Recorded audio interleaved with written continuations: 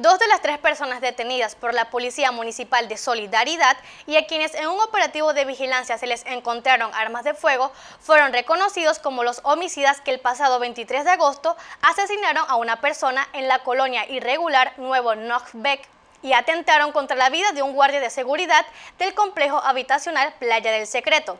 De acuerdo al trabajo de investigación, se logró establecer con base a testimoniales y videos, como datos de prueba que al menos dos de los asegurados participaron en dos hechos violentos en solidaridad. Además, una videofilmación de la cámara de seguridad de la caseta donde sucedieron los hechos confirmó lo relatado por la víctima en su entrevista, en el que aparecen los rostros de los criminales.